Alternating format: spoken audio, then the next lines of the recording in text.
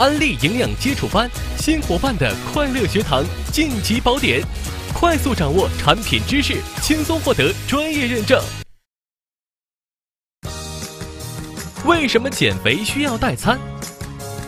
瘦身加速型有啥独门秘籍？本期营养基础班聊聊体重管理那些事儿。今天胖的人越来越多了，有很多的调查数据说明我们这个地球呢确实是越来越重了。为什么？并不是地球胖了，是地球上的人更胖了。还有更有冲击力的数字是什么呢？是今天全球每年有三百四十万人要死于超重和肥胖。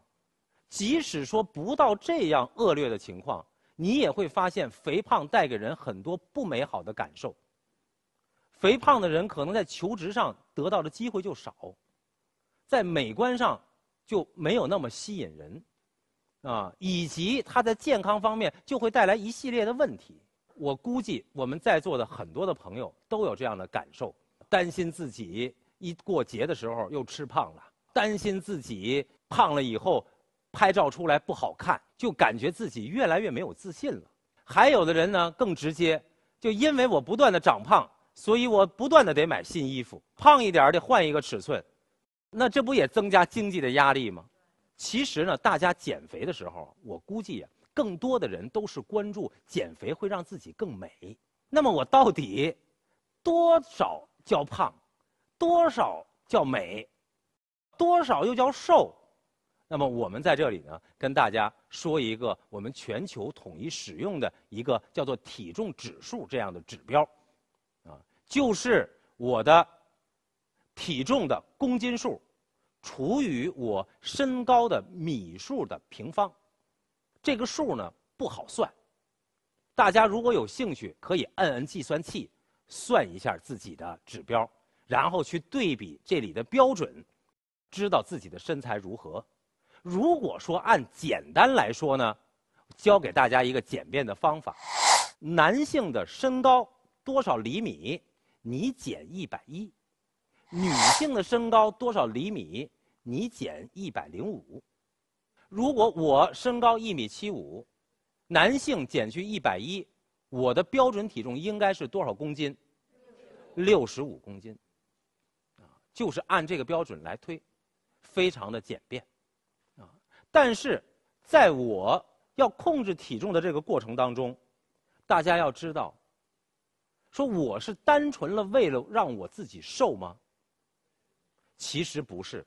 其实我们真正减肥的目的，并不是为了要把自己体内的肌肉都减掉，而是为了我要把我自己体内的脂肪减掉。我减同等的重量，其实脂肪占的体积更大。通过这个图，大家就可以看到，你同样是五磅重的脂肪和肌肉，脂肪几乎就是肌肉体积的三倍。即使同样重量的人，他所表现出来的表现形式也不一定，有的就是肥胖，有的就是健美。那么我们通过这个表，大家就可以看出来，针对男性、女性不同体脂率的情况下，它的表现形式。大家你看，左侧是男性，右侧是女性。这不同的体脂率，我们都给它做了标号，从一号到九号。大家你们看一下，你自己理想的，觉得哎，我希望成为那样的那个体脂率，大致是几号？你喜欢几号，你就把这个手举成几。大家举哎，稳住了，别来回看，稳住了，几号？好，大家把手放下。你发现几乎百分之九十九的人都喜选的是三号或四号，啊，其实呢，也许有的人认为二号也挺好，但是我做起来可能有点困难，是吧？啊，那么再接下来的问题呢，我就不问了。我估计问问大家，现在你是几号啊？啊，这个问题呢太残酷了，啊。我就不问了，反正你自己知道有差距就行了。大家想到这个体脂率的时候，更多的想到是它的美观，它怎么能够有吸引力？但是实际上，我要告诉大家，肥胖带给人的可不简简单单只是我看上去胖了。肥胖是一个全身性的问题，你不光是皮下的脂肪增加了。同时，你体内内脏的脂肪也增加，甚至你血管里的脂肪也增加。那么，我们吃那个牛肉，啊，大家说最好的那个牛肉是什么？是说那个牛的那个肌肉里面也有脂肪。所以，人胖了以后，他肌肉里面也会同样有脂肪。吃牛肉，我们愿意吃大理石花纹的。做人，我们不愿意做大理石花纹的，那我们更希望自己能够拥有一个健康的身材。所以，我们在这里提出一个重要的观念，就是减重固然重要，但是大家要把集中思路到减重更要减脂。那我现在问大家，我们明确了现在要减低自己体内的脂肪，对吗？对。那我想问。您在生活当中，您要减自己的脂肪，您有什么方法？运动。除了运动，还有什么方法？控制饮食。为什么要控制饮食？因为我要减少脂肪的摄入。当一个人我要控制能量摄入的时候，我要不要断绝能量的摄入？不能。能不能？不能。而且。国际的标准是说，你即使控制，也不能控制的太低。当你控制太低的时候，实际上对你机体是有损伤的。那么，它其实推出了一个针对男性和女性减重的时候，给你一个标准的建议量，就是我们这个页面上显示的：女性一千到一千二百千卡每天，男性是一千二到一千六千卡每天。那么这个量可能大家在生活当中感受不是太密切，那在这里给大家一个参照，一个汉堡补充的能量大约是五百千卡。那可能针对这样的不同的男性、女性的人群，那么你可以折换成大致一个汉堡能够提供的能量，你来去算一算。而这个时候，有的人就会担心说：那我要吃这些食物，能不能满足我一天能量的摄入？一天满足我营养素的摄入，所以我要告诉大家，你其实，在减重的时候，最好要使用一种能够帮助你均衡控制营养摄入的代餐的食品。如果我通过科学的计算，我已经给你算好了，你这个代餐里面应该有多少碳水化合物，应该有多少脂肪，应该有多少蛋白质，以及包括钙、镁、维生素等等，我都给你算好了。那你这样吃上去以后，不就心安了吗？同时，如果我吃你这个代餐，还能够让我增加饱腹感，我又不感觉饿，又不担心营养素会多么的缺乏，能够补充我基础的营养素，那这个方案谁会不愿意尝试呢？那这个时候，我控制饮食，很多人可能就会非常担心自己的营养素摄入不充足。如果营养素摄入的不充足，那么我们应该怎么补充？那肯定是全面的要给予补充，没错吧？那么在全面全面补充营养素的同时，我们在这里还要特别提醒大家，一定不要忘了补充优质蛋白质，尤其是减重减脂的时候，大家更要注意补充蛋白质。我要告诉大家，你要知道，当一个人补充蛋白质以后。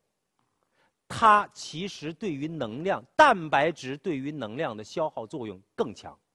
另外，在减脂的同时，可能有很多人还有一种塑形的需求，不仅可能需要我减掉脂肪，我还希望我能增加一点肌肉嘛。那么在增加肌肉的时候，那这个原料是什么？是什么？蛋白质。那你说蛋白质又是一个重要的基础营养素，同时又能帮我塑形，然后还能帮我多消耗一些能量，那你说这个东西是不是太好了？对，吧？对，所以我在这里要特别提醒大家，大家在控制饮食的时候，其实非常容易忽略蛋白质和基础营养素的补充。嗯，我在这里要提醒大家，要引起足够的重视。接下来我就要给大家讲怎么个增进代谢。所以这就有一个问题，就是我怎么样去增加脂肪的代谢？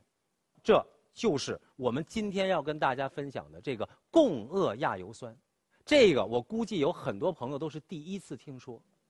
啊，共轭亚油酸这个东西非常神奇。第一个，它让你多余的能量不要存下来。为什么？因为它可以调整脂肪代谢的酶。减少你脂肪细胞对于脂肪的摄取，听明白吗？所以不让你脂肪在体内存留。我刚才不说了，说人的胖其实一是由于脂肪细胞的增加，二是由于脂肪细胞体积的增大，它储存了过多的脂肪，对吧？我告诉大家，共轭亚油酸对我们机体减脂的这个作用，增进代谢的作用，就是说，第一。我不让你的脂肪细胞增殖，不增加。第二一个，我要让你已经吞进来的这个脂肪再代谢掉。听明白了吗？我要增加这个脂肪的代谢，帮你把它消耗掉。同时，这个共轭亚油酸还有一个好处，它不仅能够减脂，其实还能够增加肌肉蛋白的合成。大家想，说一个人，如果我脂肪多，你说往往容易存积在哪儿？肚子，是吧？啊，腰部，是不是？有人还有脸部，啊，然后可能还有的是这个，这个，这个，这个胳膊的后面，是不是？大致在这些位置，腿，对吧？臀这些位置，我告诉大家，这个共轭亚油酸还就有这个好，它就是要去减少你这些部位的脂肪，它就是要去调动你这些脂肪存积部位的脂肪。所以，为什么我们说最终这个减减少它，它怎么去宣称说它能够去减小腹啊？能理解吗？它对脂肪沉积严重的地方，它的。减脂的这种效果更好。谢谢大家，祝大家快乐先出好身材。